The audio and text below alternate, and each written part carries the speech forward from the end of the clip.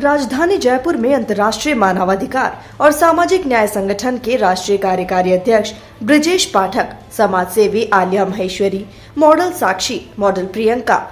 ने सभी ने मिलकर पंख एनजीओ जोक डायरेक्टर कविता के नेतृत्व में बुधवार को उनके पाठशाला में गरीब बच्चों को पुस्तक सामग्री वितरित की। राष्ट्रीय कार्यकारी अधिकारी ब्रजेश पाठक ने बताया कि राष्ट्रीय अध्यक्ष नीरज सिंह और कविता संगठन के द्वारा करीबन 15 सालों से गरीब बच्चों को निशुल्क शिक्षा प्रदान की जा रही है।